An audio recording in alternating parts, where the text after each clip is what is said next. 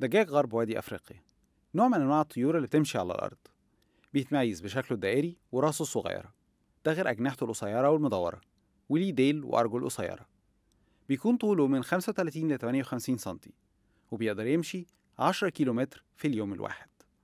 كمان وزن دجاج وادي غرب أفريقيا واحد وثلاثة من عشرة كيلو جرام وعنده ريش رمادي أسود في أبيض. ورأسه مزينة بالأصفر المحمر مع بقعة حمراء وزرقاء من الجلد. بياكل دجاج الوادي البذور والفواكه والقواقع والعناكب والديدان والحشرات والضفادع.